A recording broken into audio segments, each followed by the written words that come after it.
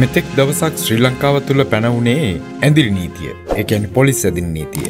ඔන්න දැන් හදිසි නීතිය පනවල තියෙන්නේ. ශ්‍රී ලංකා පුරවැසියන් වසයෙන් ඔබ හදිසි නීතිය ගැන දැනුවත්ද. ඒ ගැන දැනුවත් කරන්න තමයි මම මෙස්සූදානම් වන්. ශ්‍රී ලංකාව තුළ හදිසි නීතිය පැනවිය හැකි බලය හිමියෝ පවතින්නේ විදායක ජනාධිපතිවරයාට. හදිසි නීතිය යනු රටක යම් හදිසි තත්ත්වයක් ඇතිවූට බලපවත්නා නීතිය අභිබවමින් නියෝගදීමේ අවසරය ජනාධිපතිවරයාට සතුකර දෙන අවස්ථාවක්. හදිසි නීතිය බල නොපැවැත්තන වෙලාවන් වලට සිවිල් ජනතාව පරීක්ෂා කිරීම ප්‍රශ්න කිරීම සහ අත්තඩංකොට ගැනීමේ හැකියාව ඇත්තේ පොලිසියට පමණයි.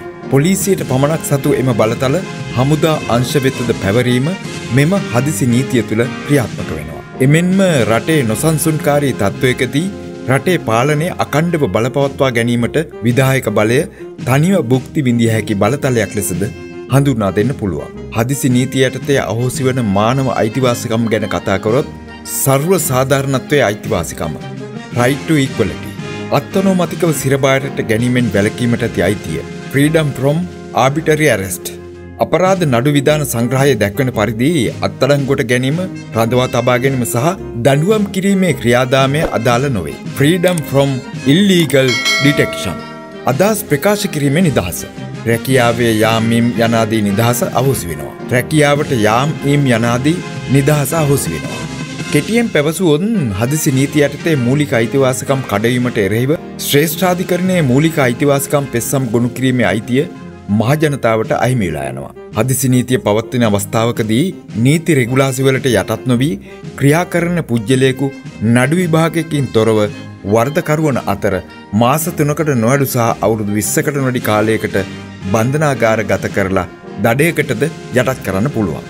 ඒකම වැඩි තැබීමේ බලය හමුදාවට පැවරෙන. රටක හදිසි නීතිය පැනවූ අවස්ථාවක අනනුතකා ක්‍රියා කරන පුද්ගලයකුට වෙඩි තැබීමට හමුදාවට බලය හිමියෙනවා. ජේෂ්ඨ නීතිඥවේදින් පෙන්වා දෙන ආකාරයට පොලිසිය සහ ආරක්ෂක අන්සමගින් යම් අකටයුත්තක් සිදුවහොත් එය සැඟවී යන්නට පවා මෙම තත්ත්වය යටතේ සිදුවෙන්න පුළුවන්. හදිසි නීතිය නිසා හමුදාවට පැවරණ බලතල ගැන කතාකරොත් වරෙන්තු නොමැතිව පුද්ගලින් අත්තරංගොඩ ගන්න පුළුවන්. නිෂ්පල සහ චංචල දේපල රජයේ පාලනට ගන්න පුළුවන්.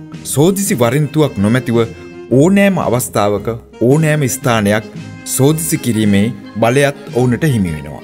එනිසා සිවිල් පුරවැසියන් වූ ඔබ කල්පනාකාරීව මෙම මොහොතේ කටයුතු කරන්න. මේ සියලු තොරතුරු අන්තර්ජාලය ඇසුරෙන්. අමතක කරන්න එපා. සබස්ක්‍රයිබ් කරන්න ඉස් ස්ටඩියෝ යා.